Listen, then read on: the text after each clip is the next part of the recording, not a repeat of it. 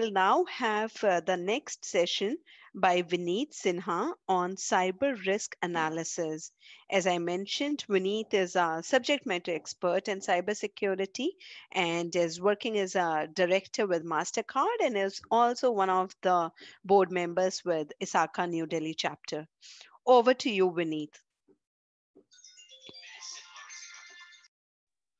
Well, thank you so much, Sushma, um, and a very warm good evening to everyone. Uh, I think this, this is an important topic. Uh, I think in the previous conversation where Manisha was talking about the basic cyber hygiene, she referred a number of times talking about risk assessment, risk assessment, and risk assessment. And I think I should pick it up from there and, uh, and initiate the conversation further using that risk assessment. Now, uh, we all have been going through this pandemic situation uh, over this one year, last one year. Uh, I think uh, if we all remember, this started somewhere around in the month of January, where this news started floating about the, mm, the this virus, virus which is the pandemic, and then this has actually resulted in a lot of impact for organization and for each of us as an individual where we were restrained to stay back at our homes during this lockdown and other things. I am sure most of us have even not ventured out uh, and i would have gone to a travel destination uh, and then had preferred to be staying back at home. But uh, do you think uh, as an individual as organization we were prepared to deal with these kind of uh, threats that has happened, which has actually impacted most of the organizations globally. Uh, if I if I go back with my previous experience and the learning, I, I my answer would be no. Uh, but uh, when I say no, uh, have we ever thought about that this pandemic would happen, or a similar event could happen again in future? Again, the answer was we all say, will say no. We never predicted that this will happen. But if we go back to the year 2009 where there was a again a pandemic a similar pandemic but with not to this extent where the uh, organizations were made to really uh, work remotely work from home uh, we all have gone through that phase. Uh, most of us would have gone through that phase uh, that was H1N1, right? Swine flu, which restrained again, uh, uh, where employees were asked to stay back at home if in case a similar. But do you think that uh, have we carried out that learning from that exercise or that event that has happened 10 years back and have implemented it uh, for our organizations? The question may be for some large organization, yes. For a small and business segment organization, the answer may be yes and no. And for a smaller organization, no, largely. Uh, Sushma, can we put the first poll in and, and let's see uh, the feedback from the people? Absolutely. Here you go. Thank you. Sure. So people, uh, I, I, would request each one of you to please uh, put your votes uh, or your thoughts, whether you have done this exercise or not in your organization, that will help us in terms of deep diving a little more while we are having this conversation further. We let's have seven one... seconds more. Uh, uh, you want more time? That's okay. I, I, think let's give more time to people, sure. at least two minutes, so that each one of them can respond. I want a hundred percent participation so that it gets set the context right. Sure.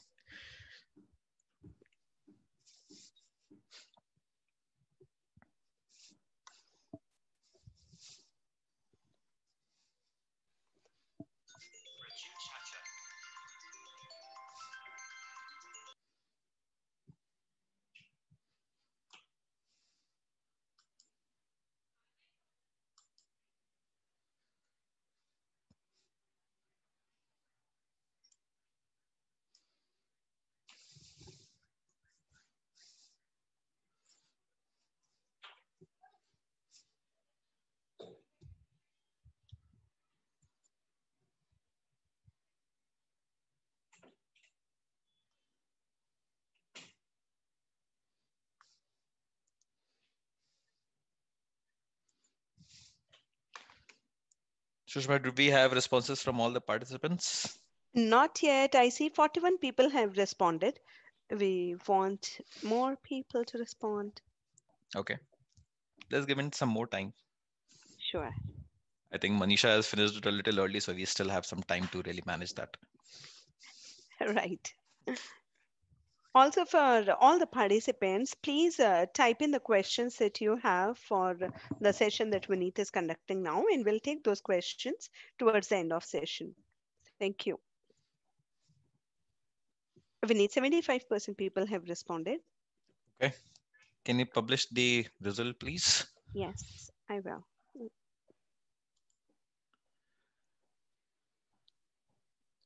Awesome. So we have close to 75% of the people who says that a risk analysis has been performed in your organization in over the last 12 months. Okay.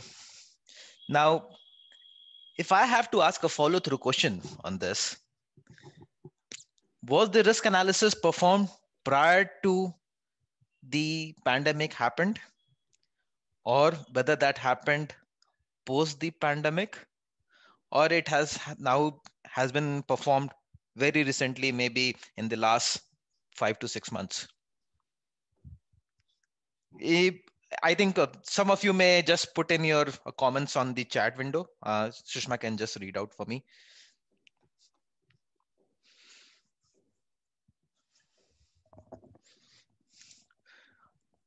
And why this question is important at the same time is because of the reason that if in case you have performed the risk analysis, which was dated somewhere between Jan to March in the year 2020, then it's outdated completely because it has no relevance now. And if it has happened in the period from March to June, it's again outdated because it largely does not have a relevance. And why I'm making this statement, I'll come to that. And if in case you are doing, you have performed it somewhere in the month of June to December, you would have a different result altogether. Sure. So Rajat says it's post-pandemic. Gaurav says it was done in last five months. Anand says it was done both before and after pandemic. Sayed says it was performed earlier. Okay. And uh, Gagan says we did cybersecurity preparedness in 2019 August. So that 2019 piece is quite outdated. The one which was again performed before the pandemic happened is again outdated because the entire con the context of how you look at your business has completely changed now. Now today, they while we were working in offices, uh, we had the prospect of using paper as an asset and largely most of the pieces used to happen during that time uh, over the paper. Why?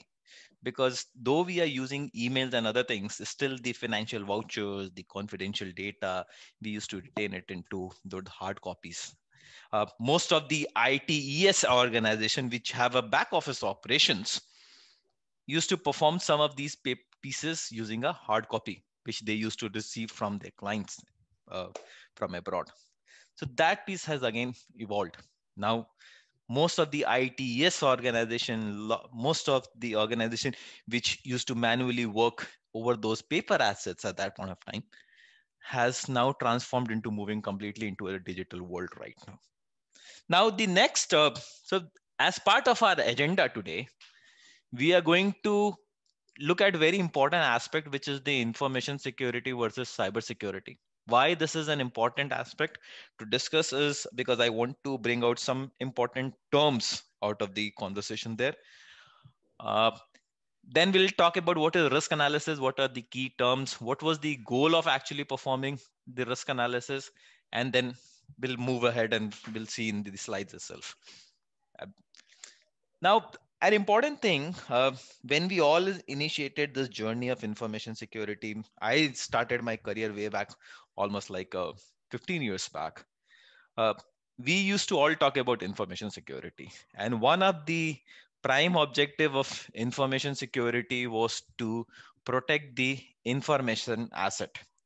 Now, what were those information asset? Well, largely used to be hardware, softwares, people, services, papers. These used to be information assets at that point of time, and the entire uh, ISO 27001, which was been designed, uh, the the whole purpose was to protect this information asset against uh, using this confidentiality, integrity, availability. Correct. So so so we, we all know that the, the the principle which is the CIA.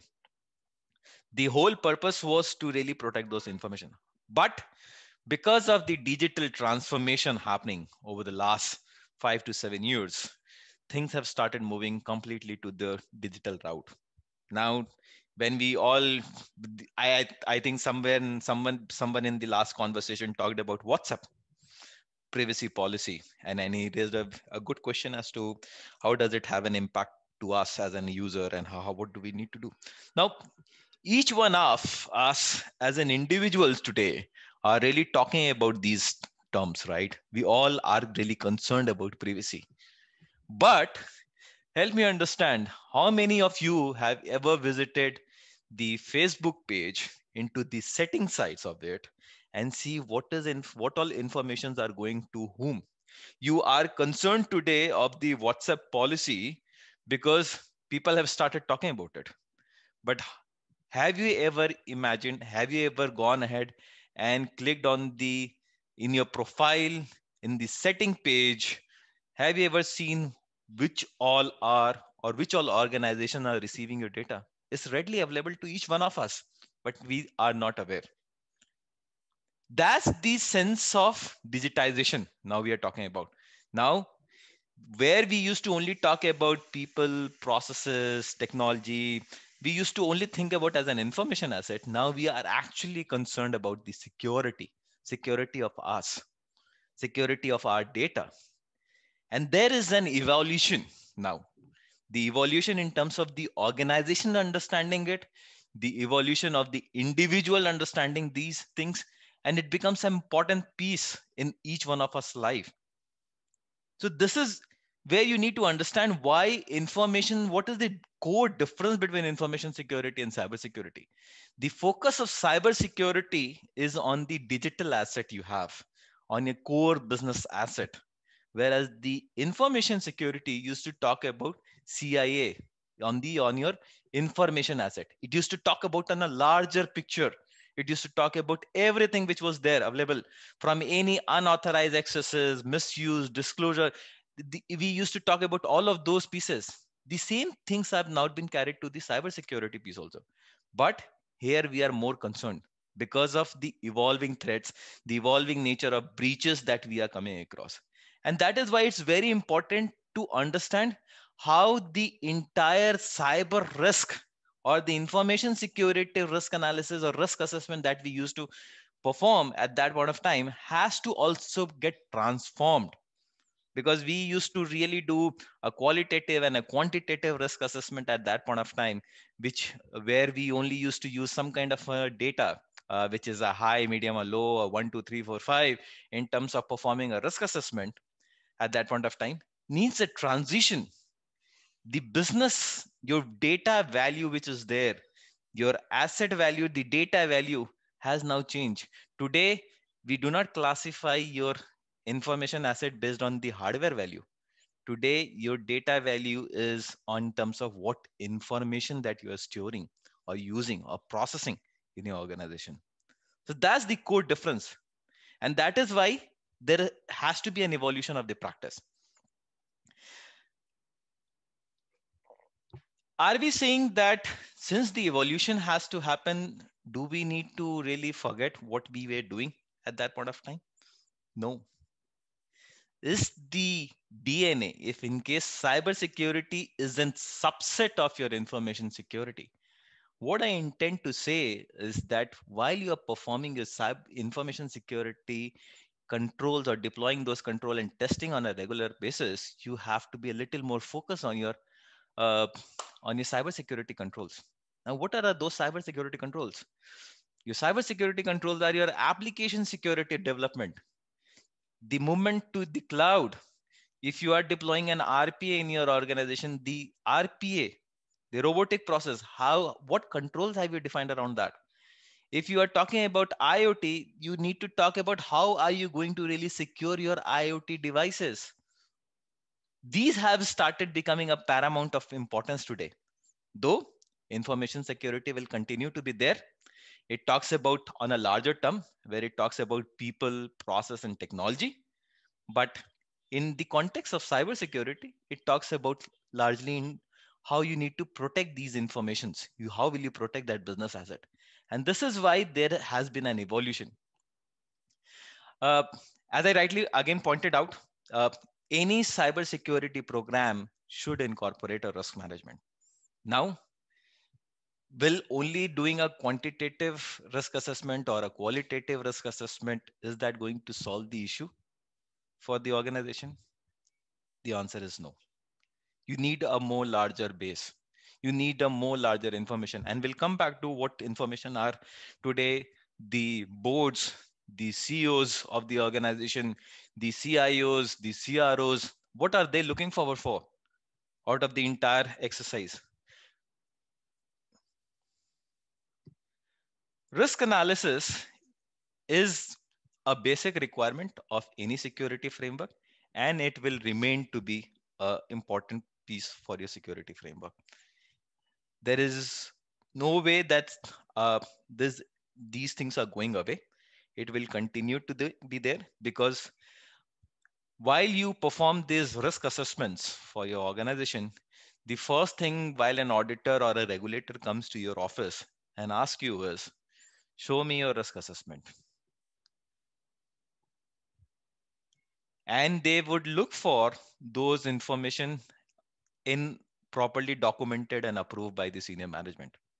I'm sure a lot of people in the group would be get under either undergoing those audits on a periodic basis or they are as a consulting going and reviewing those even i when i was a consultant and i used to go to any organization to do any kind of a risk assessment exercise as an auditor or i was getting uh, audited by the first thing that I was ever asked was share me your information security policy and your information secure uh, this risk assessment methodology and the results.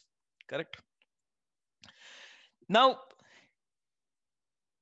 the risk assessments when we used to do uh, the ultimate objective of performing the activity was to first identify the value of the asset, what all asset you have. So let's say if in case at that point of time, we used to have a hardware or today, even if we have a hardware, we used to define a value to that in terms of the asset value, then the threat and the probability and what would be the impact of that. So uh, if in case I have a asset, let's say a server, which is getting stored into a data center, I would prefer to identify what all are the threats which may have an impact to my asset within that data center. And for that, I, if I am into the operations guy, uh, and, and, and I want to understand what all kind of threats, I would start Googling onto the, uh, on a Google and then try to find out what all threats may have an impact to a server in the data center, correct? This is logically the process that most of us follow, right? But is that relevant for my organization, for my processes, the way how I do my business? The answer may be yes or no. Because at that point of time, the ultimate objective is that we should get a risk assessment performed and we are able to close it within the stipulated time so that before the auditors or the regulators come and visit to us, we have the results ready and approved by the management. Right? Then the second step, what we used, the objective of risk analysis was that we should be able to quantify the probability and what will be the business impact. Now, while we will move further into some of the uh, uh, later slides where we'll be talking a little more in on the steps of how risk analysis are being performed. Again the question is whether we get the right set of business impact out of conducting these exercise whether i will be able to answer some of the questions to the management if in case they come back and say that okay Vinit, help me understand what will be a business impact if in case there is a DDoS attack, which happens on my organization. Will I be able to answer that question in an absolute dollar value or terms? I say, I say, I don't know. I do not have an answer to that. Some of those pieces were relatively tried to be answered through the quantitative risk analysis methodology, uh, which is there. But and I understand still a lot of organization today still follow the qualitative risk analysis as it's easier to be performed. It uh, takes uh, it does not take too much of time then again uh, the important piece is that to gather the absolute value of an asset in today's scenario is a little difficult to do that right because i may not be able to uh, really uh, identify be able to give an absolute value to those dollar terms to that asset value. And and i may rely on the finance team for getting that information. The another goal of uh, and then this was an important goal why risk analysis used to get performed uh, was to provide an impact on the threat and the cost of countermeasure. So if in case there is a threat which i identify what is the cost that i need to incur for a countermeasure against that threat? Uh, again with the quantitative risk analysis we still may able to identify that. Or maybe we still may be able to figure it out. But with the qualitative i think it's difficult right? And i think the group would agree with me on that. I think uh, these are important terminologies which is like risk analysis risk and vulnerabilities i i pre- prefer to really ignore at this point of time and maybe just quickly jump onto the next slide the advantages of risk analysis. Now, whatever kind of uh, method methodology which you guys are following in terms of performing a risk analysis, uh, whether it's quantitative, qualitative, or risk quantification, the end objective is to recognize the threat to the assets, to all my assets, what all threats are there, identify what all are the potential threats that may can be prevented. So as as manisha talked about the ultimate objective is that for low at threat assets you should leave it without actioning on them for all high uh, value assets and, and for which may have an impact. There we need to really take do some countermeasures in terms of any of the risk analysis risk response options which could be either reducing the risk or uh, avoiding the risk or accepting the risk or mitigating that risk correct?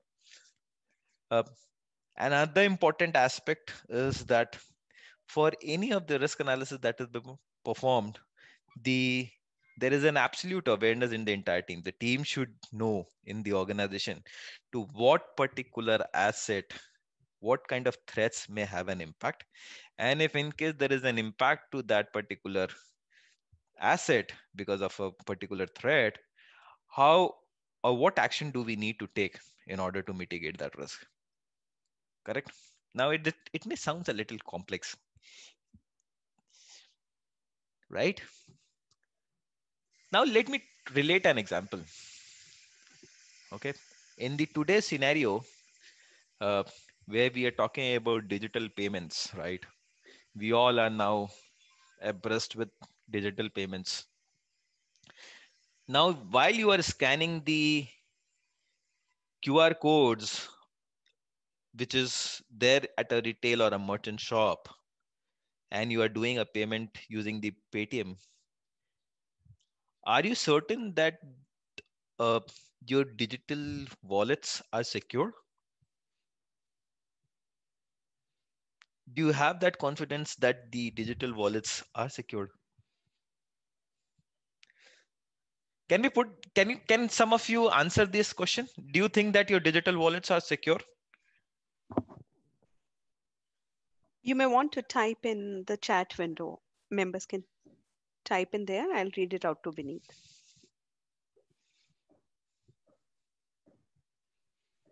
So Vinit, while everyone else answers, I truly do not believe uh, they are secure, uh, keeping in mind uh, the news that we see every day, and there are breaches.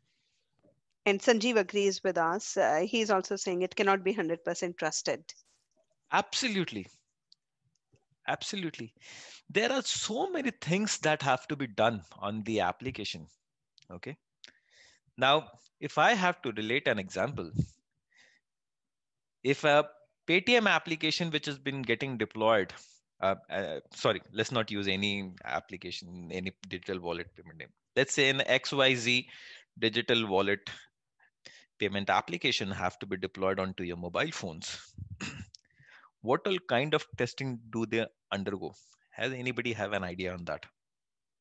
Even before it comes to you. Let me just set the context these applications are required to be certified through PADSS, Payment Application Data Security Standards. Okay.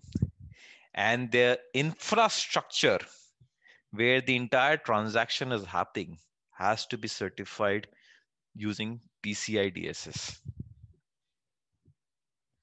But still there are breaches still there are news of breaches. I think one of them has been recently there, Juspay. But what has led to that Juspay incident?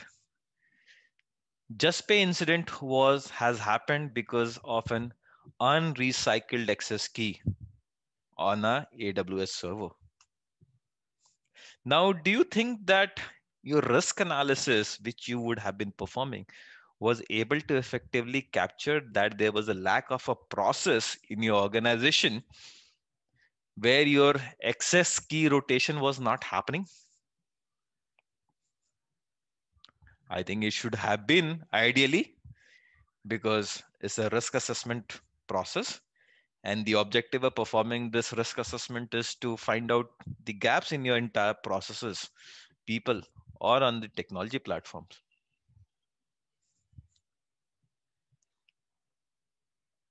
correct? The other advantage of performing a risk analysis is to reduce the cost and damages to your organization. I am not saying that if you are performing the performing a risk analysis, you will always be obligated or you may be a reason, there might be a reason for failure. There may be a chances for failure but it's not necessarily.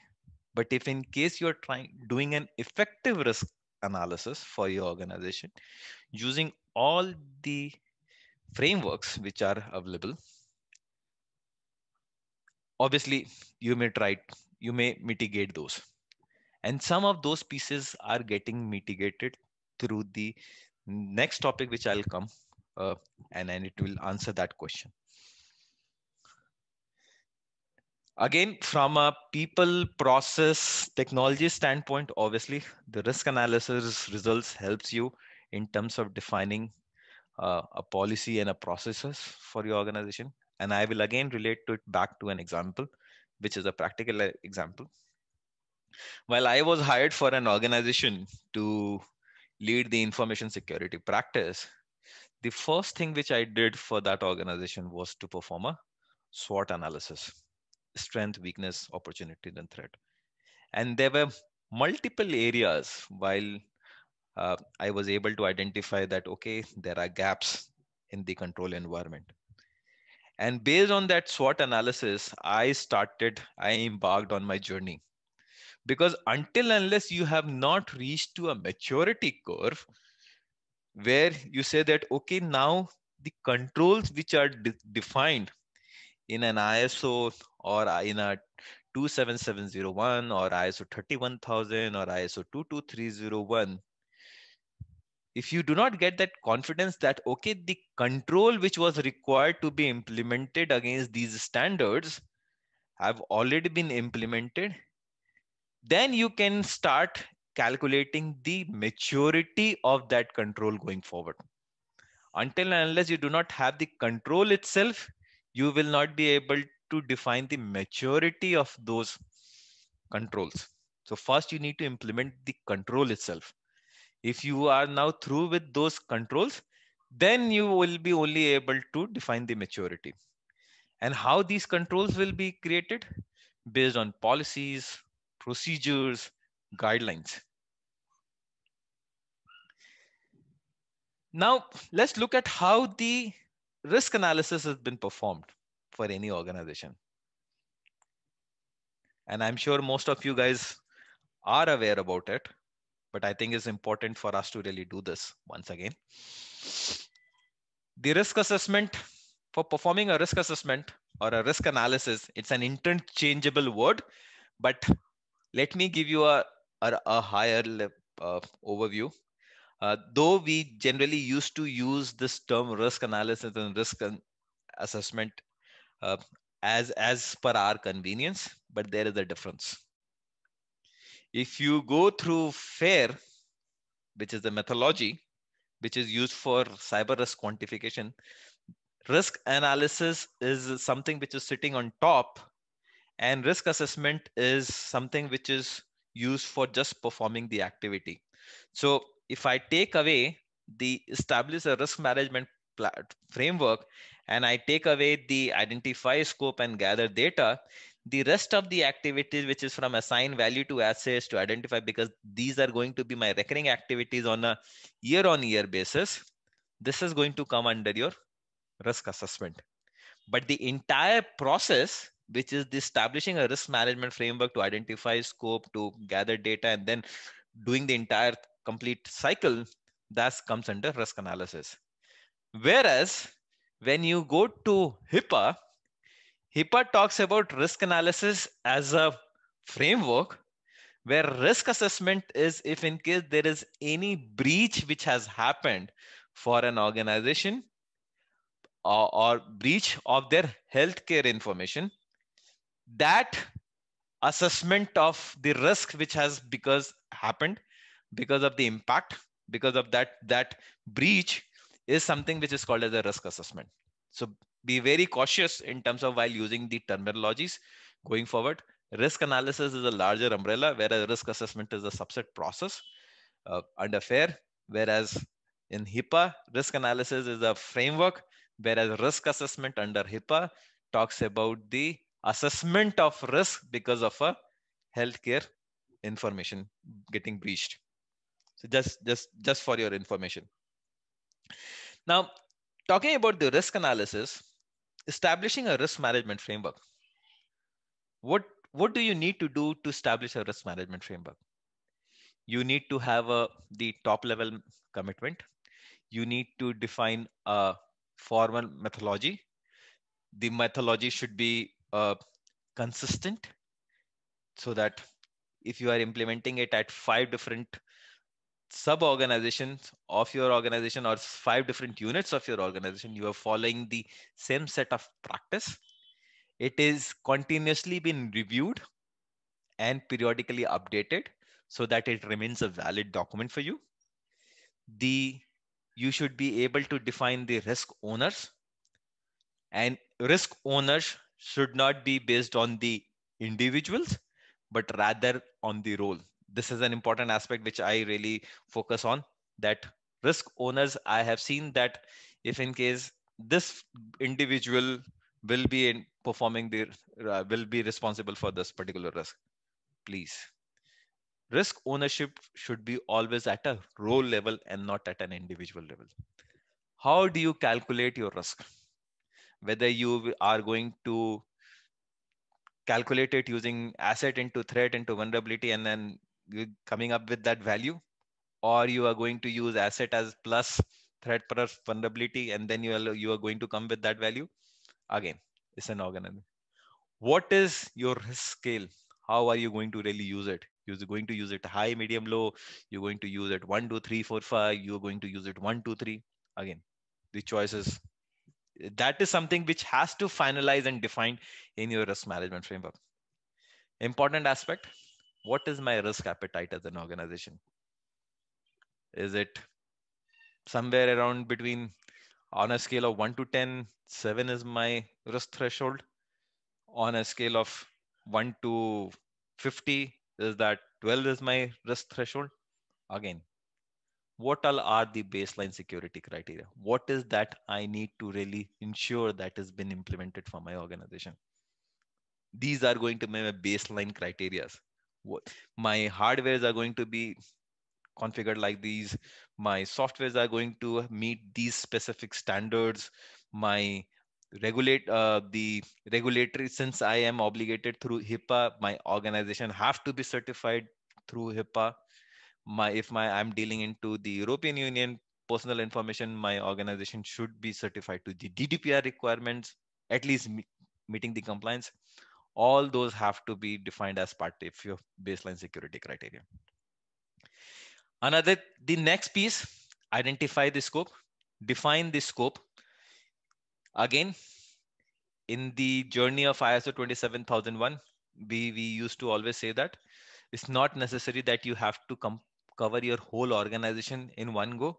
Even a small piece of your organization which you will feel that handles confidential and, and critical data for your organization needs to get certified to an iso 27001 you can do that for that particular organization also.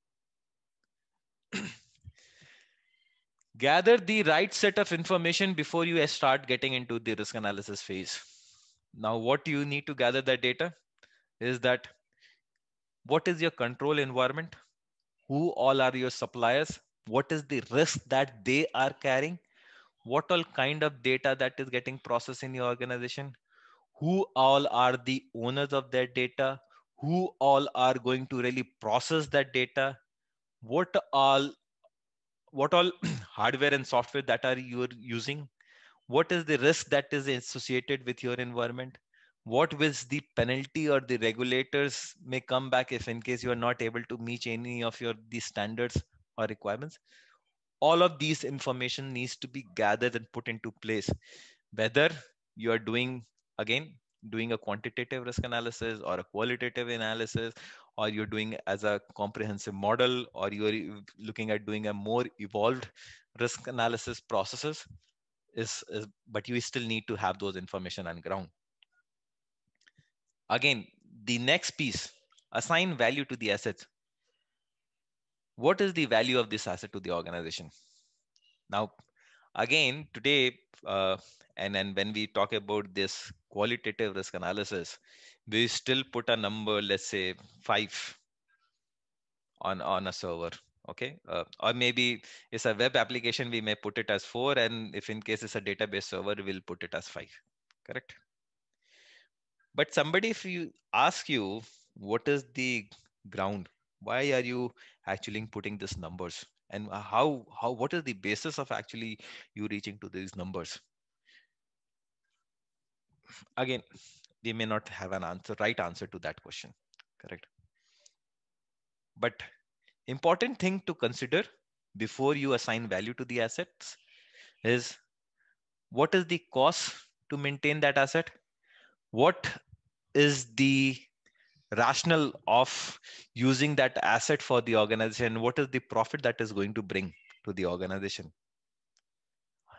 How will that asset behave to be in the market? So if in case let's say that asset is taken off today or my database which carries a pii data if it goes off what will it have an impact for me as an organization and with along with my competitors what is that i need to do if in case i need to recreate those assets or recover that information which is there in on that asset? What is that i need to do if in case i have to develop that asset right from the beginning? So let's say if in case you are a, a software organization developing softwares and let's say you give it to one of your critical client which manages it and there is a data uh, there is some disaster which has happened to at his entity and he has come back requesting that can you please provide me the same version number of the software that you have provided me let's say 2 years back? You would say i do not maintain it anymore and i have to need to redevelop it. Then i think you are in in a problem then so some of these needs to be be taken into account while you are assigning any value to the asset Again, uh, the next piece, identify potential loss per threat. What physical damage could the threat can cause and how much would that cost? What would be the impact if in case there is a loss of productivity? What is the cost of recovering from this threat? What is the value lost if the critical device were to fail?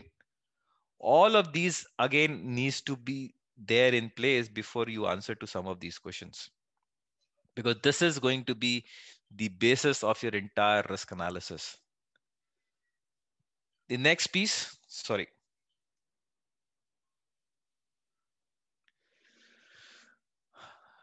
I okay i i think i'm going a little slow i have to quickly rush now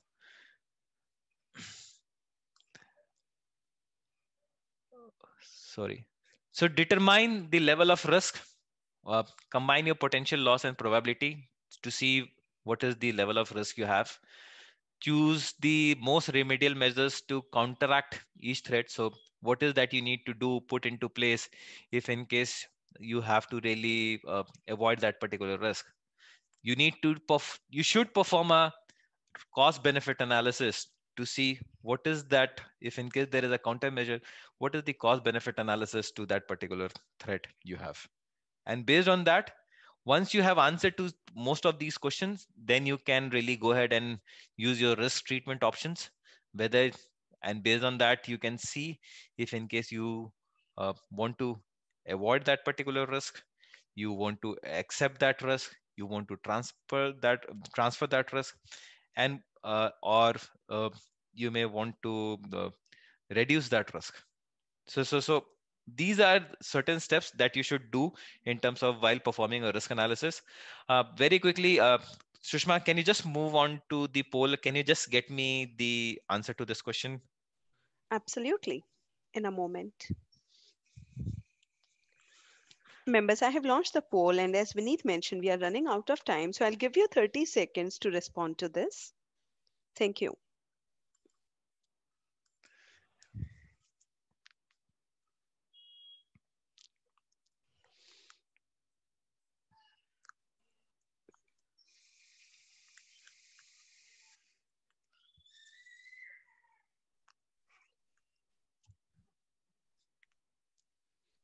I see 63% people have already responded.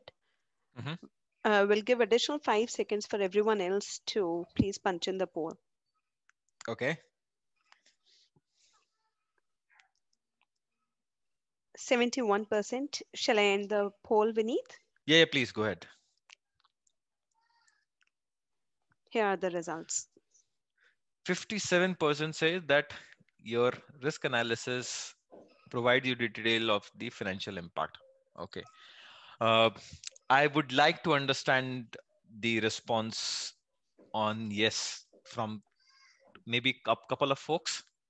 Maybe sure. they can just raise their hand and I would like to get an answer. Absolutely. Or if you can just uh, chat on the window, I'll unmute you.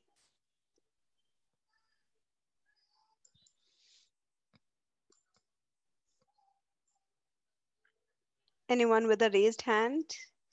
Anyone wants to say anything on this?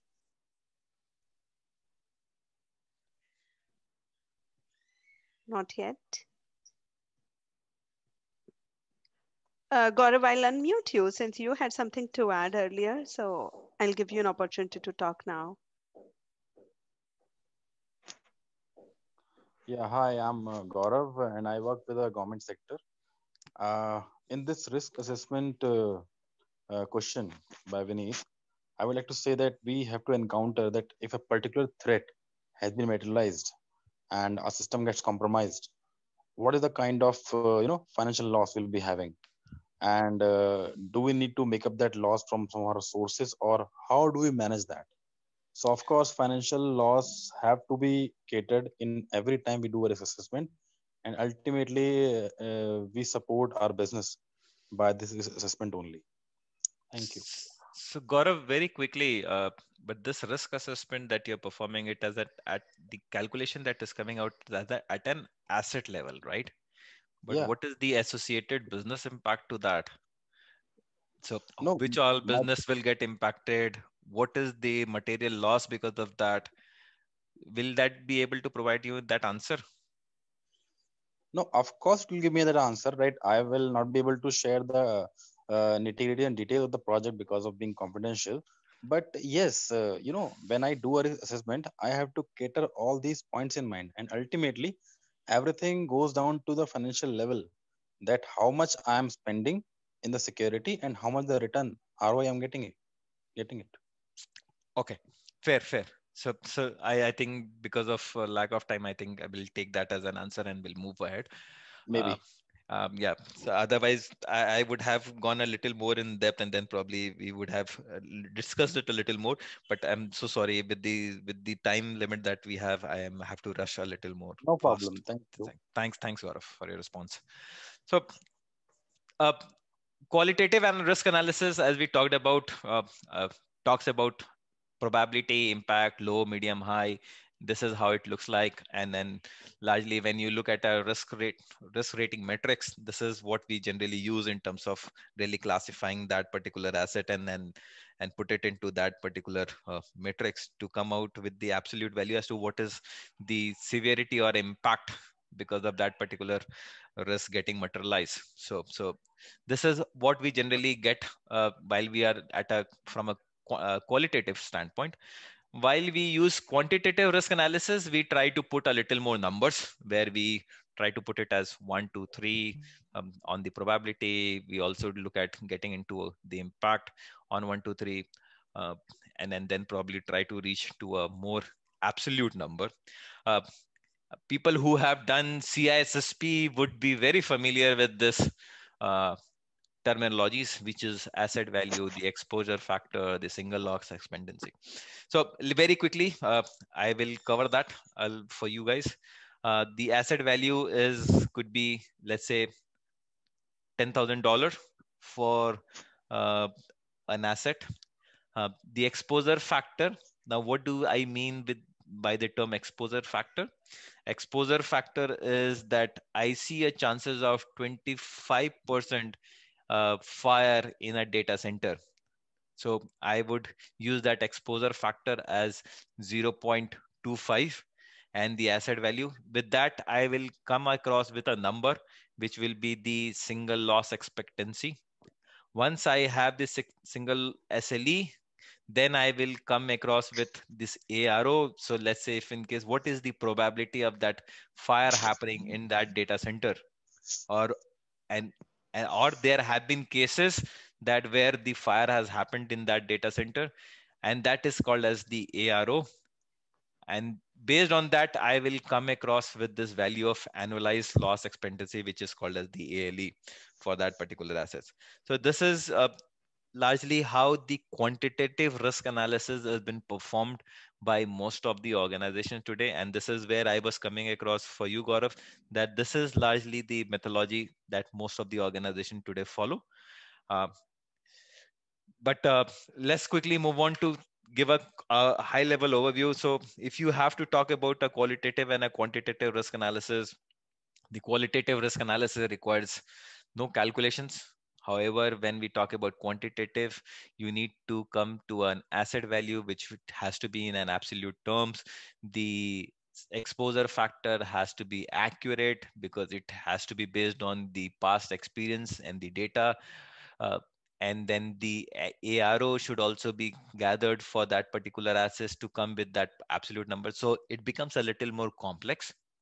Uh, again, qualitative risk analysis is largely uh, the expert judgment. So uh, people who are heading those functions or units and handling those informations they would be able to provide their expert judgment uh, based on the likelihood and impact and and may even prompt you with the set of risks that they foresee and that is going to be one of your inputs while performing a qualitative risk analysis however quantitative risk analysis uses more of the characteristics and and believes on more accurate values. So as i talked about what is the probability that particular uh, uh, fire may happen in that data center? What is the probability of uh, or sorry not the probability but how often that fire has happened in a data center? These are absolute numbers that have to be put into place from a quantitative risk analysis perspective.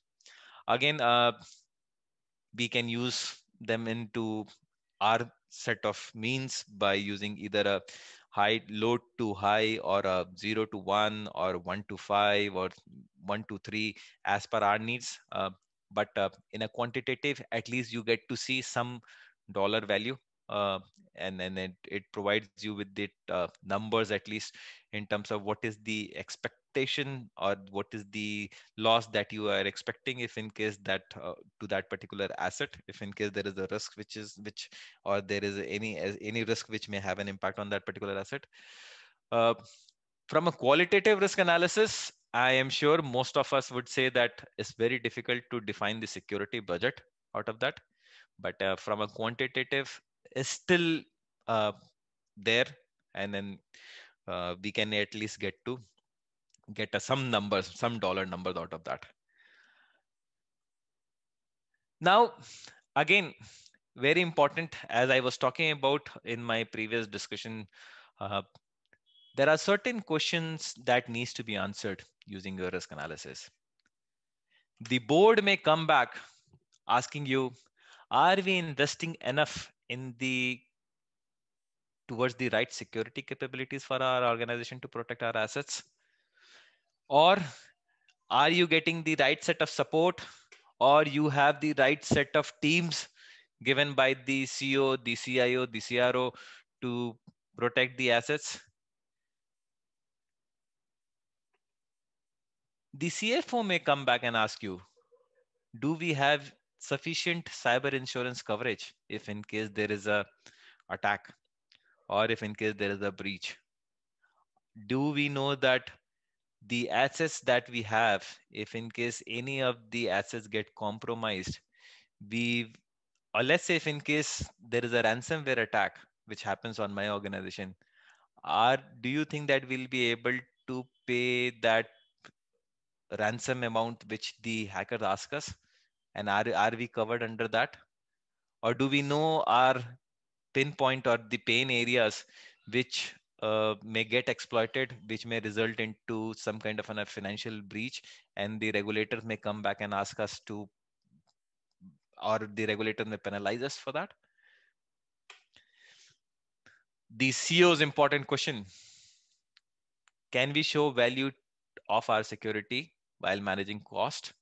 Because he have to manage the board expectation he has to manage the cfo expectation he has to manage the stakeholders expectations and these stakeholders may be your customers your maybe your uh, partners your suppliers everybody's expectation.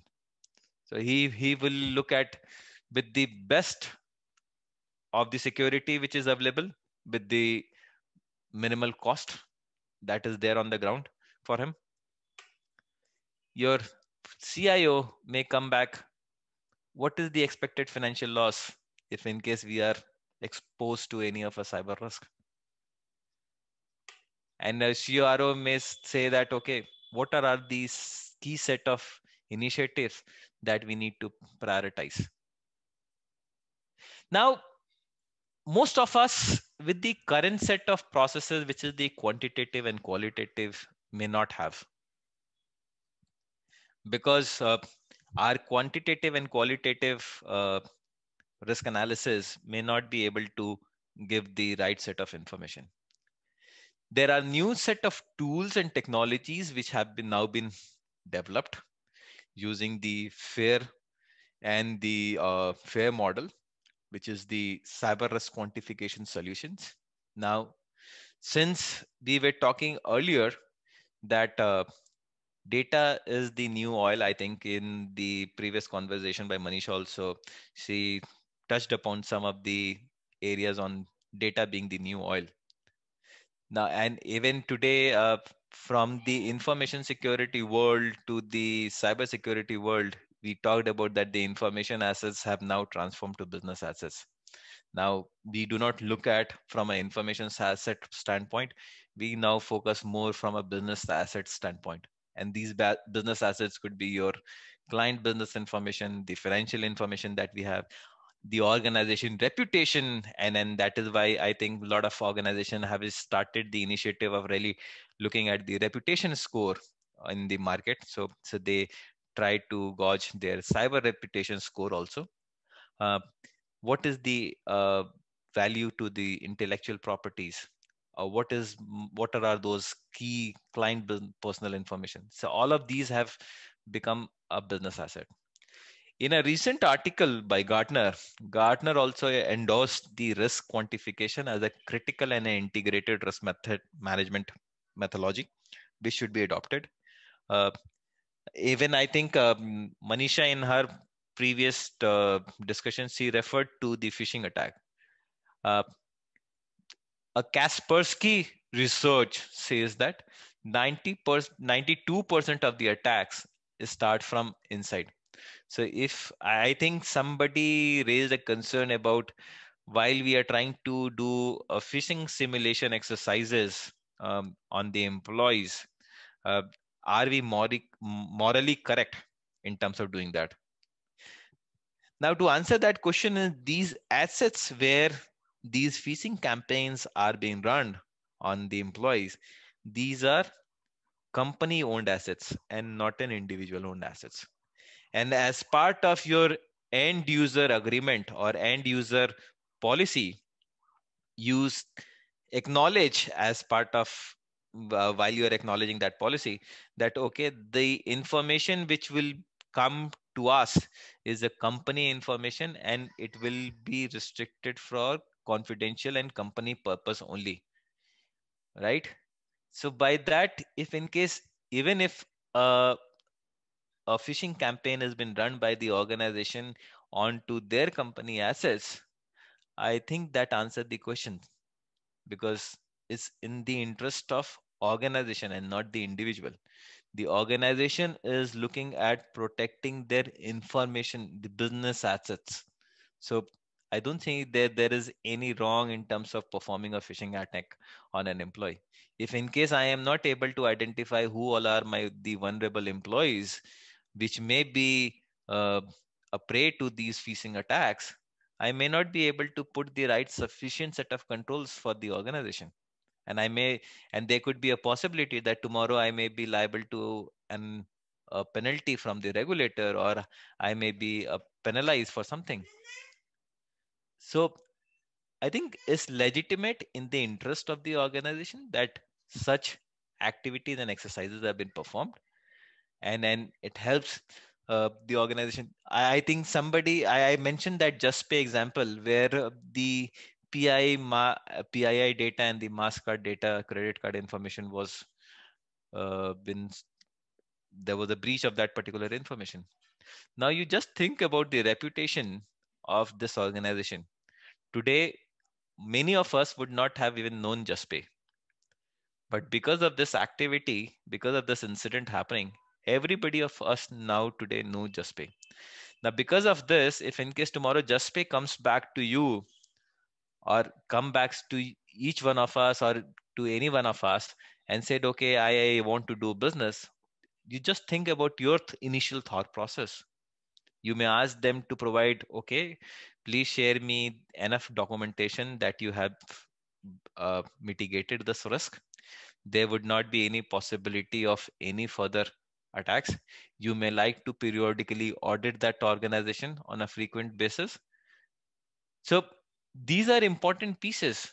Now, and then then again, and an important aspect is the the threat intelligence piece. Your threat intelligence plays a vital role in the entire cyber risk quantification journey. it gives you the information about what kind of organization you are working with what has been the attacker's view or threat vectors that have actually impacted a similar organization which where you are functioning they may also provide you with the information based on your demographic region so based on if you are based out of india based out of us based out of any other organi- uh, any other country it will provide you what is the uh, feasibility or what is the probability of you getting an attack there in those countries. So the today cyber risk quantification solutions handle some of these information a little more in detail, where it not only looks at the quantitative and the qualitative risk assessment that you have performed, it deep dives a little more, where it looks at all your controls and it provides a number to that control. So let's say if in case there is an uh, you are into the software development for a software development they may go back uh, one level below where they will say that okay what is the level of maturity of your control have you implemented OWASP top 10 have you implemented sans top 25 have you done an api security testing? Have you done your ram uh, have you done your uh, operating system level controls? Have you deployed that? How do you have a malware analysis lab which is in your organization? Do you have uh, what do you call it uh, some kind of an incident response system do you protect your network with an ids and ips so with that particular business and asset which is your client business information the there are so many surrounding controls against that particular assets. And that is where you start looking forward because as a comprehensively it is going to provide you with that risk rating. So that is what uh, uh, and then and today even the board uh, with this so many risks uh, or breaches that are happening on a day to day basis uh, the board also wants to know in absolute terms what is my risk what is that i foresee if you take a a, a snippet of let's say your SIEM solution or a uh, DLP solution or your IDS IPS and present it to the board, the board may say, What is that you're talking about? I am not able to. You tell me whether I am protected to a cyber attack or not. That is what they want to understand. They need simplified language. They don't don't want to look at because it's, it's anything which is not underst- uh, not understandable by the by an individual is always a red right and board may always take it in a negative way so even if you are going and presenting those details to the board the board may not appreciate that though may you may have worked day in day out to really implement a SIEM for your organization a DLP for your organization or an IDS IPS solution or a WAF for your organization. But the board is not concerned about that. Even your CEO would not be concerned about that. They would need just a simple answer. Whether am I protected or whether I am not protected. If in case I am liable to a cyber breach or a cyber attack, what is the penalty that I can forth? What I what is the financial impact that I foresee? Is it 700 million? Is it 1 billion? Is it 1.5 million? That that answer needs to come and these answers are generally uh, are available through the cyber risk quantification tool these tools may provide you details at your regional level at your organization group level. They may give you information at your unit level. They may also provide you details about look after different different vectors of your organization. They may look at your uh, technology. They may look at your people. They may look at your suppliers they may look at your processes they may talk about uh, your cloud environment for that matter. They may also talk about some of the technology pieces like api security malware and all those. So i would urge that all of you should look at exploring this solution. Go back do some research in terms of which all are those solutions in the market which are taking it to the next level. And that is the reason why the the the discussion item that I have kept on the table was the evolution of practices. So I thought is important for you to really bring to that speed that from a quantitative risk analysis, the world has matured and is now looking at a CRQ, which is a cyber risk quantification solution. And, and I think you is it's a right time for organization to really go ahead and explore. With that, I end my presentation and happy to take any questions you have. Thank you, Vinit, for sharing your expertise with us. Um, I will open the forum for any questions that you may have. Either you can uh, type the question in the chat window or you can just raise your hand and I'll unmute you quickly.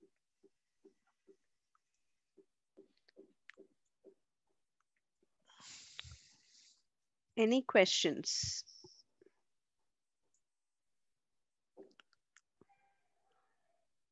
So there are only two possibilities. Either Vinit was an awesome speaker or we did not understand a word he said. so please ask questions or at least confirm the same in the chat if you are able to learn from today's session. I think uh, we have somebody, means Gaurav is there and Anant who have raised their hands. Okay, so I'll unmute them. And before that, I'll unmute Manisha because she would also like to share a few words. Okay, and then I'll unmute the rest of everyone. Manisha, you should be able to unmute now. Yeah, I can do that, Sushma. Uh, let uh, Vinit take up the questions. I would just wanted to say a few words before we close today. Sure, absolutely. Okay, so Anand, Gaurav, Jagbir, you should be able to unmute yourself now. Uh, please go on and Yeah, I ask the question. Okay, good, great. Go ahead.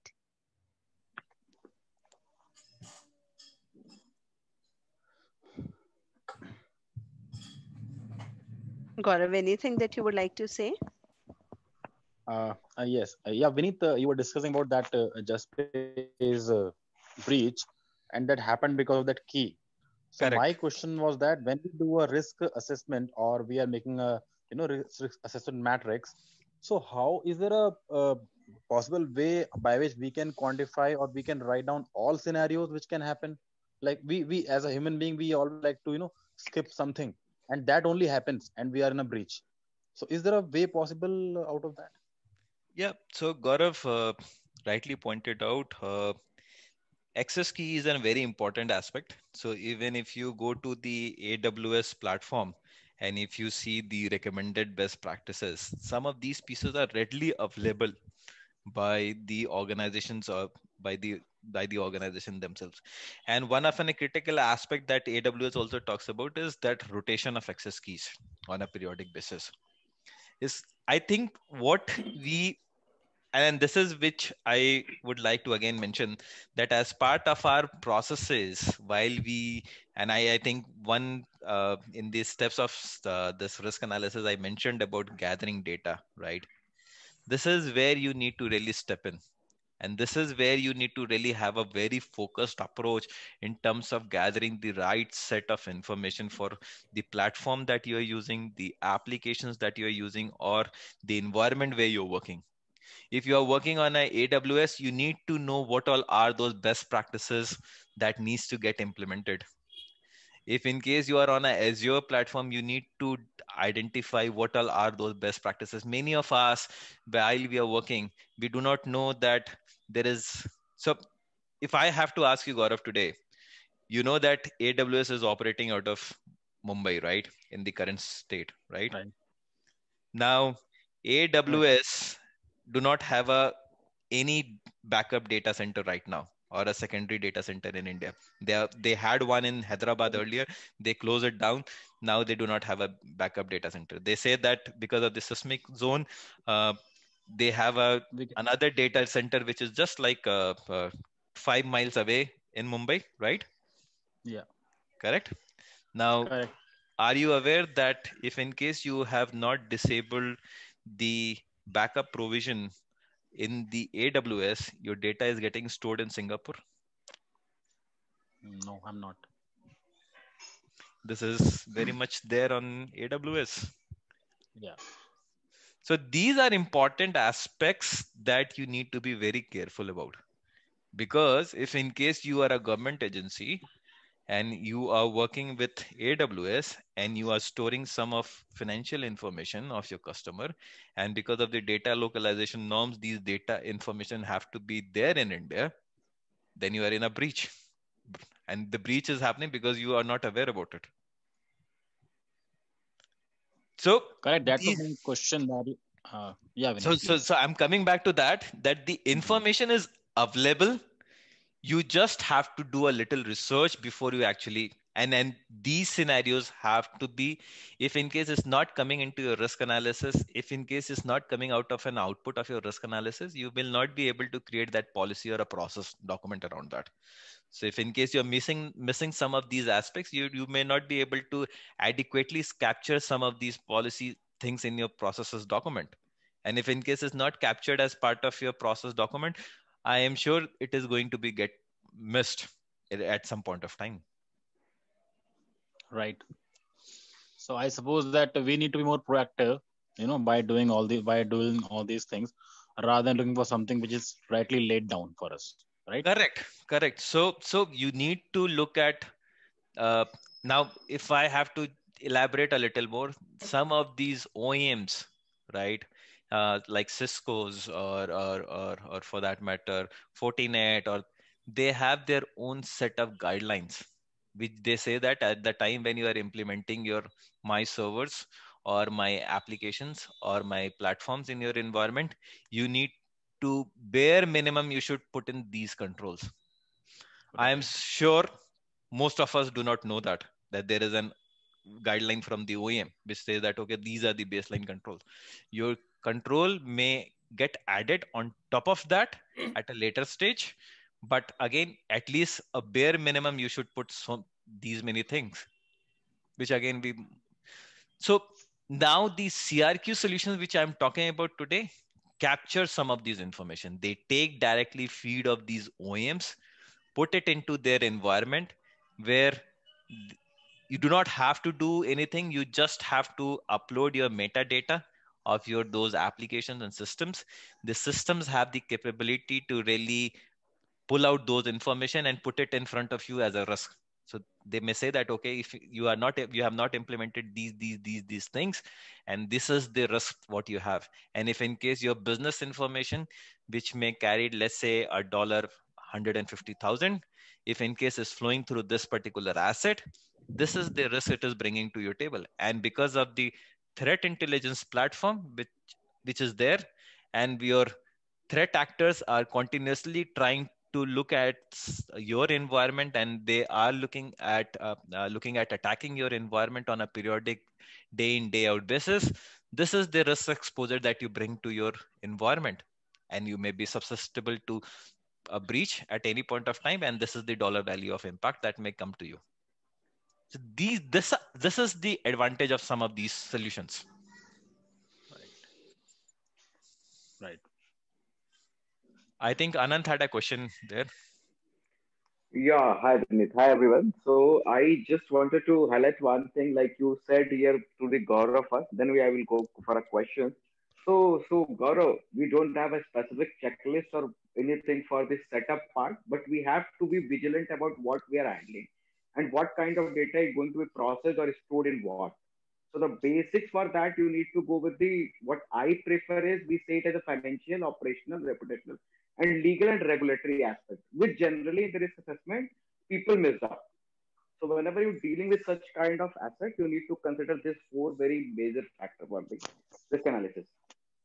Now coming to the question, Vinit. So I just wanted your view on the like we have talked about the qualitative and quantitative risk analysis. So if I ask you view for the IT and ITES industry, for which approach will go would be more helpful for in this industry? again anant uh, my take would be that you should not go uh, take take either of the approaches but you should go with a consolidated approach where Okay. for where first you perform a quantitative risk analysis uh, sorry the qualitative risk analysis yeah, to uh, yeah to arrive at uh, the risk areas of for your organization and for the top risk which you come across on top of that you should do a quant uh, quantitative risk analysis to derive a more meaningful information to see what is that threat which is coming for your organization. Okay. So if I in short, if I say first we go for the one analysis where we get such kind of risk, then we go for a that specific risk, going for our most critical asset of the organization. Absolutely, absolutely. Yeah, sure. Thank you very much. Yeah, actually, uh, Vinit here, uh, just to add on to what you said, uh, uh, Anand, what uh, you should start with qualitative. That is, uh, you know, then when you have identified the high risk areas or the high risk processes, it, it could be, you know, even the processes, it could be the assets, it could be Absolutely. yeah, any any other uh, uh, thing, you know, which is a high risk thing. Then you go for the detailed quantitative risk analysis. बेटा इधर दिखा पापा दिखाएँगे मैंने तो ऊपर तो ये खोया खोया दिखा है मैं खुद नहीं खाऊँगी फिर तो अच्छा खोया नहीं बेटा बिल्कुल भी नहीं। है है अ, ना बेटा है ना बेटा ना मैं बिल्कुल मतलब ही नहीं बनता Please go on mute, please. Sushma, Uh, yeah, so uh, go uh, go for the qualitative one, and once you have identified the high risk areas, then do a detailed uh, quantitative one to get an to make an informed judgment regarding the controls and the mitigation. Sure, sure. Yeah. Thank you. Anyone else we have with any questions? just a message for you Vinit from Vikram that you Mhm. are an awesome speaker Thank you so much, Vikram. Yeah, he is. so we are bang on time it's 5:31 already before we wrap up uh, Manisha you wanted to say a few words One, over one, to you one minute, uh, uh, Sushma. Okay, before yeah. Actually. no go so, ahead uh, so f- I, I think I didn't wanted this to be a marketing session. So, and, and I'm not into the marketing side of the piece, so I don't want to use this this platform as a marketing. But if in uh, Mastercard as an organization have recently ventured into the cyber risk quantification piece, so if in case any one of you who are interested and and would be willing to really exploring the solution a little more further, uh, please reach out to me. Uh, the details are already available with you. Thank you so much.